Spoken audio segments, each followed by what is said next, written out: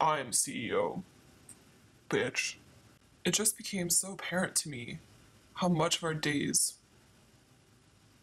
are centered around meals and how the experience I had when I was fasting for much longer, how time really slowed down